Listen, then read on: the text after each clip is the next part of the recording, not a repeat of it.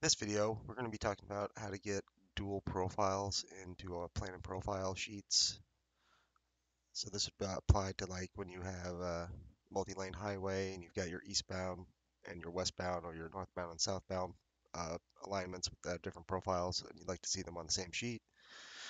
When the when you get this, it's going to be projecting a profile onto the, the westbound profile onto the northbound profile so it displays whenever you sheet or view it in profile view so it's going to function exactly the same when you see them. It's going to annotate just like the main line, but uh, the only difference is going to be that there's going to be a uh, difference in the strip grade.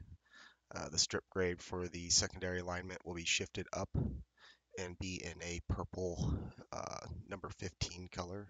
So I'm just going to go ahead and show you how to do that here real quick.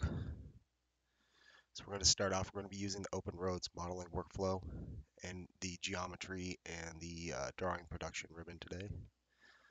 Uh, so we're going to start off with getting a feature definition here. So if we don't have that, it's up here in the standards. So you can get the feature definition toolbar. Come in here under alignment. We've added now the geom baseline westbound, southbound. So that's where your uh, alternative, your uh, alignment that you're going to be wanting to display with the main baseline one that we normally use. So we're going to start off with that. Go ahead, I'm just going to draw a sample westbound lane here. I'm just going to go ahead and do that. We're going to do a, just a quick constant elevation. Do 1125. Then I'm going to go ahead and we're going to select the new westbound southbound one here. And I'm going to draw a example eastbound lane or westbound lane here. Get the example westbound lane there going. Once we get that, we're going to go ahead and apply a constant elevation of this one. We're going to do, let's go with uh, 1135 so we can get a little bit of a contrast there when we see them. All right, now that we have that done, make sure you still have the geom baseline westbound southbound one once you've applied the profiles and stuff uh, when you when you project it it's going to use this as uh, the feature definition for the profile element that it uh, applies to that so once you do that you're going to come to your to the geometry it's going to be under here under modify there's going to be copy vertical so we'll go ahead and I'll show you here before we do that let's get the profile displayed here so you can see it's just got the one profile displaying. So we'll go to the modify copy vertical. Make sure that you have the uh, projected here checked. You can also change the name here if you'd like. For that'll name the profile that's on here that gets projected onto it. It won't change the name of the one that's here existing. It's gonna or it's gonna create a new profile there that's gonna be named. So so we're looking for the profile to copy here. So we're to select the westbound lanes. Then we're to locate the element to apply profile. So we're to select the eastbound lanes. And now you see it's got two profiles here.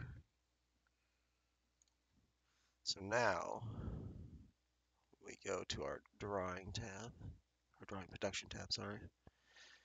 And we go and we're going to place some name boundaries go ahead, we're going to place a plan and profile 1 to 10 scale. We'll do the V10. And I'm just going to name it that. It's going to name it's going to name the group geom baseline dash 3. Just want to remember that for when you create the profile part of it.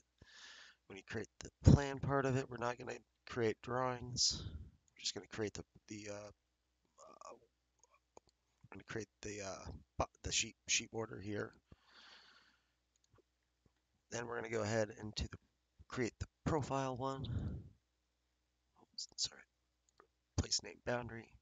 Select our profile. Make sure we have the matching plan profile profile for the scale V10-1. We're going to use the plan group of geom baseline-3. That was the new one that it created. This time we are going to create the drawing. Now it's asking us to identify a profile view. So we're going to select the view that has the profile on it. we go. Now it's saying accept or reject. So I'm going to accept it. Brings up our create drawing dialog. If you're if you actually are finishing this up, you can always add it to the sheet index here. I'm not finishing it up with it. I'm just doing this for this example, so I'm going to do it this way. This click OK. And now you can see we're getting both the profiles here annotated and the two different strip grades are coming up here. This is the main line and this is going to be the secondary alignment. So that's how you get dual profiles in a uh, plan and profile sheet.